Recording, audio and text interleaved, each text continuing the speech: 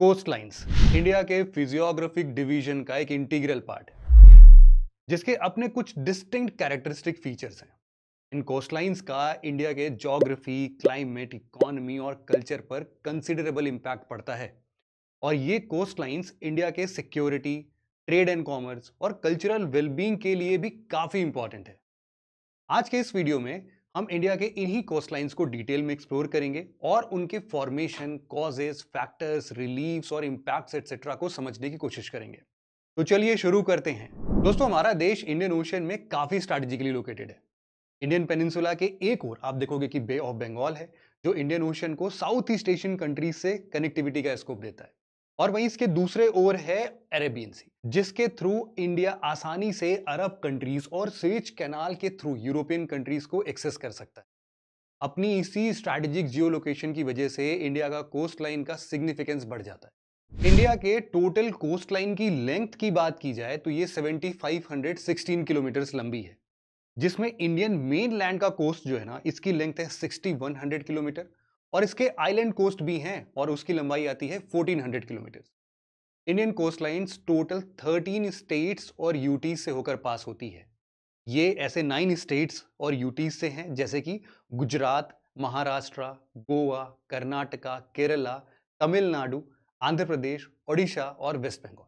और इसके अलावा चार यूनियन टेरिटरीज भी हैं, दमन एंड दीव, पुडुचेरी, अंडमान एंड निकोबार और लक्षद्वीप आइलैंड्स इन सभी स्टेट्स में गुजरात स्टेट सबसे लंबा कोस्ट लाइन शेयर करता है। अब बात अगर इंडियन कोस्ट लाइन के नेचर की की जाए ना तो इंडियन कोस्ट लाइन का एक बहुत बड़ा पार्ट स्ट्रेट और रेगुलर नेचर का है, जिसके कारण यहाँ नेचुरल पोर्ट्स का स्कोप बहुत कम हो जाता है। इन कोस्ट लाइन का फॉर्मेशन क्रिटेशियस पीरियड के दौरान गोंडवाना लैंड के फॉल्टिंग से हुआ था, और यही कारण है कि ये कोस्ट लाइन ज़्यादातर स्ट्रेट है।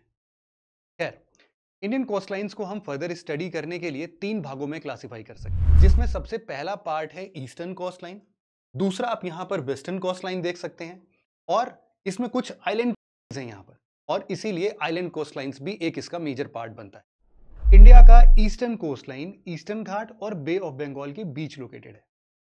इसके एक्सटेंट की बात की जाए तो ये इंडियन पेनिनसुला के ईस्ट में गंगा डेल्टा से कन्याकुमारी तक स्ट्रेस्ड है। इस कोस्ट के कई सारे प्रोमिनेंट पेरिनसुलर रिवर्स जैसे कि महानदी, गोदावरी, कावेरी एट्सेट्रा डेल्टा का निर्माण करती साथ ही चिल्का लेक और पुलिकट लेक जैसे लेगून्स इस कोस्ट को और भी डाइवर्स बनाते इस कोस्ट लाइन में बहुत सारे डेल्टास लोकेटेड होने के कारण इसे कोस्ट लाइन ऑफ़ इमरजेंस कहा जाता है। कोस्ट ऑफ़ इमरजेंस वो कोस्ट होते हैं जिनकी या तो हाइट बढ़ रही हो या फिर सी लेवल घट रहा हो। इंडिया के ईस्टर्न कोस्ट के केस में इसकी हाइट बढ़ रही है। तो आप सोच रहे होंगे कि ये क्यों हो रहा है आखिर? जैसे कि हमने पहले भी बताया कि इस कोस्ट से होकर बहुत सारे रिवर्स बे ऑफ़ बंगाल में ड्रेन हो जाते हैं। और ये रिवर्स लॉन्ग डिस्टेंस ट्रैवल करते हुए अपने साथ बहुत ज़्यादा सिल्ट लेकर आते हैं और इसे कोस्ट लाइन पर जमा कर देते हैं। इसी एल्यूवियल लोड से ईस्टर्न कोस्ट की हाइट बढ़ रही है और जिसकी वजह से इसे कोस्ट ऑफ़ इमरजेंस कहा जाता है। इंडिया की eastern coast line natural harbours के लिए बिल्कुल भी सूटेबल नहीं है। और यहाँ एक ही मेजर पोर्ट है और उसका नाम है वाइजैक पोर्ट, जो कि अपने आप में एक आर्टिफिशियल पोर्ट है। रीजनल क्लासिफिकेशन की बात की जाए तो इस कोस्ट लाइन को तीन भागों में डिवाइड किया जा सकता है। पहला है उत्कल कोस्ट। आपने अपने नेशनल एंथम में सुना होगा ना, द्राविड़, उत्कल, बंगा। ये वही उत्कल कोस्ट है, ओडिशा का कोस्ट लाइन है। उसके बाद आता है आंध्रा कोस्ट। जो आंध्र प्रदेश के कोस्ट लाइन को रेफर करता है। और फिर सबसे लास्ट में तीसरा और सबसे मेजर पार्ट है, वो है Coromandel coast line Coromandel coast line में पूरा तमिलनाडु का कोस्ट और आंध्र प्रदेश का कुछ कोस्ट शामिल है। तमिलनाडु में कोरोमंडल कोस्ट लाइन को पायन घाट के नाम से भी जाना जाता है। ईस्टर्न कोस्ट लाइन के बाद अब बात करते हैं वेस्टर्न कोस्ट लाइन इंडिया की वेस्टर्न कोस्ट लाइन नॉर्थ में गल्फ ऑफ़ खम्बाट से साउथ में कैप ऑफ़ कैमरिन तक एक्सटेंडेड है। पूरा वेस्टर्न कोस्ट क्रीक्स और एस्चुरीज जैसी चीज़ों से भरा हुआ है। लेकिन यहाँ डेल्टा लगभग ना के बराबर पाया जाता है। इस कोस्ट लाइन पर नर्मदा और तापी द्वारा बनाया गया एस्चुरीज सबसे मेजर एस्चुरीज है। इस कोस्ट लाइन को भी रीजनल लेवल पर तीन पार्ट्स में ही डिवाइड किया गया है। पहला है कोंकण कोस्ट। नॉर्थ में गुजरात से लेकर साउथ में गोवा तक एक्सटेंडेड। कोंकण कोस्ट का फॉर्मेशन गोंडवाना लैंड के सबमर्जेंस के कारण हुआ था और इसी वजह से इसे कोस्ट ऑफ़ सबमर्जेंस भी कहते हैं। इसी वजह से पूरे इंडियन कोस्ट लाइन में ये कोस्ट नेचुरल हार्बर के लिए सबसे ज़्यादा सूटेबल है। दूसरा है कर्नाटका कोस्ट, जो कर्नाटका के कोस्ट लाइन को रिफर करता है, और Mangalore port, Karnataka coast line पर सबसे major port located. Western coast line का तीसरा और आखिरी पार्ट है ये मालाबार कोस्ट। ये मालाबार कोस्ट केरला स्टेट के कोस्ट को रिफर करता है।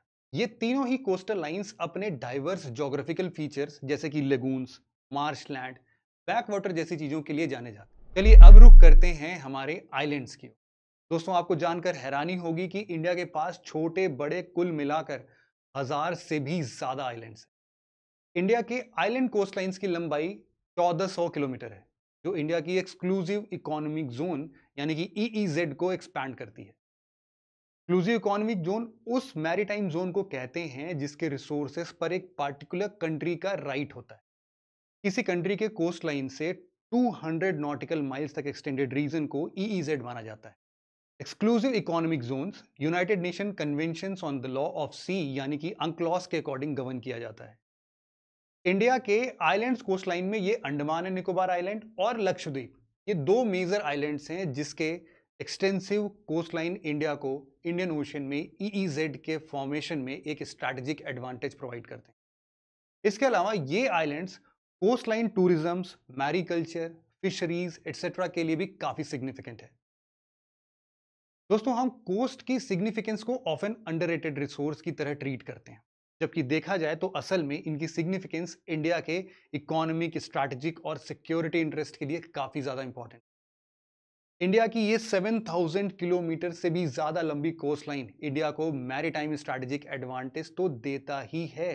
लेकिन इसके अलावा इंडिया के डिप्लोमेसी जियोपॉलिटिक्स और सिक्योरिटी के लिए भी काफ़ी ज़्यादा इंपॉर्टेंट है। साथ ही ये कोस्ट लाइन देश के लिए टूरिज़्म मैरीकल्चर फिशरीज एटसेट्रा के फॉर्म में एडिशनल रेवेन्यू भी जनरेट करता है। इन्हीं कोस्ट लाइन्स के कारण कोस्टल स्टेट्स के लाखों लोगों को रोज़गार मिलता है, जिससे कि स्टेट और कंट्री दोनों के जीडीपी में हम ग्रोथ देख सकते हैं। इंडिया की कोस्टल ज्योग्राफी क्लाइमेट चेंज और ग्लोबल वार्मिंग के लिए भी काफ़ी क्रूशियल है।